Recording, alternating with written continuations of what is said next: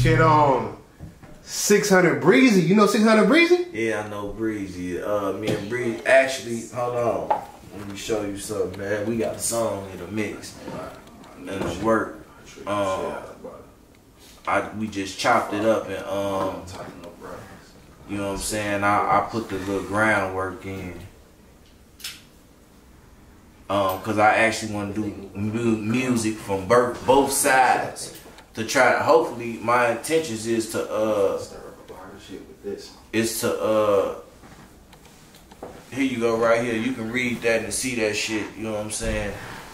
And my intention is to work is to work with both sides and bridge the gap and and do a change for chicago man um, I knew Breezy since he was a shorty back when he was GD. You feel what I'm saying? I used to be in a different area, part of Chicago. He was on 79th and Evans. I was on 79th and Ingleside.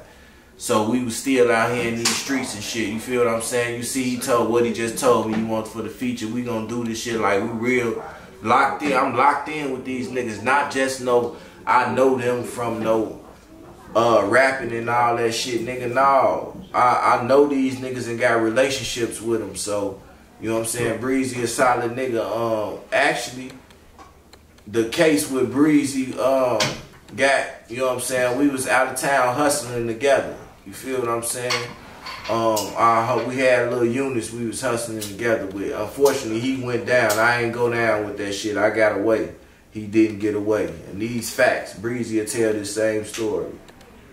Oh, that's a Big Mouf exclusive. Yeah, yeah, they don't know this shit, man. Nobody never sat down and asked none of this.